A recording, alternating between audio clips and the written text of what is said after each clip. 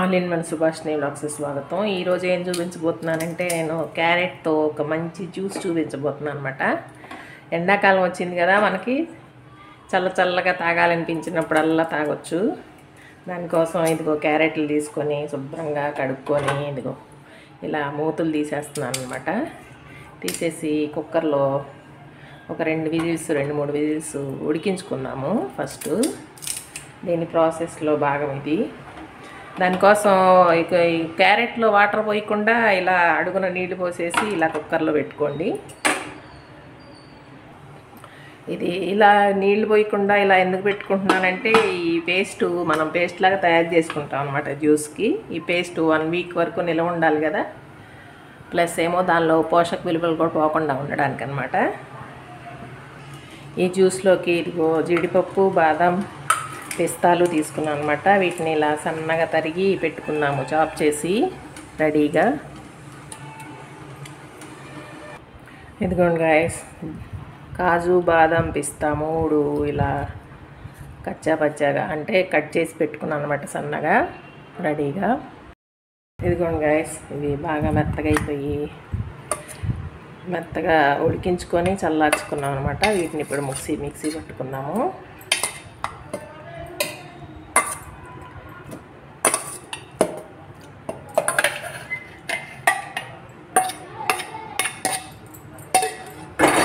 వీటితో పాటు నేను ఇదిగో జీడిపప్పు బాదం పప్పు కూడా వేసుకుంటున్నాను.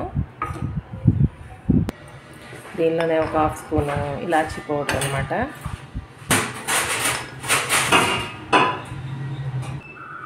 ఇది ఇప్పుడు మిక్సీ పట్టుకుందాం అనమాట మెత్తగా పేస్ట్ లాగా. ఇదిగోండి గైస్ ఇలా మెత్తగా పేస్ట్ చేసుకున్నాం కదా. దీన్ని ఇప్పుడు ఒక బాక్స్లో పెట్టుకున్నామంటే ఒక వారం రోజులైనా నిలవ ఉంటుందన్నమాట. ఇప్పుడు ఈ పేస్ట్ని టూ త్రీ స్పూన్స్ వేసుకొని కాచి చల్లార్చి ఫ్రిడ్జ్లో పెట్టుకున్న పాలు అనమాట ఇవి ఒక గ్లాసు. దీనిలోకి తీపి కోసం హనీ టూ స్పూన్స్ అనమాట హనీ కానీ చక్కెర కానీ వాడుకోవచ్చు. మనం ఎవరైనా గెస్ట్ గెస్ట్లు వచ్చినప్పుడు కానీ మన పిల్లలకు కానీ ఇలా సమ్మర్ టైం కదా చల్లగా తాగాలనిపించినప్పుడల్లా ఇలా ఇచ్చామంటే పాలు తాగని పిల్లలకు కూడా ఇలా మనం పాలు కలిపి పాలు ఎలా తాగాలా అని మనం ఆలోచిస్తుంటాం కదా. ఆలోచించే పని లేకుండా ఇలా చేసి కనుక ఇచ్చారంటే ప్రోటీన్స్ అన్నీ పిల్లలకు కూడా అందుతాయి అన్నమాట. ఇలా చేసి మీరు కూడా పెళ్ళికి రెడీగా ఉన్న పిల్లలైతే దీనిలో ఒక సీక్రెట్ ఉందన్నమాట.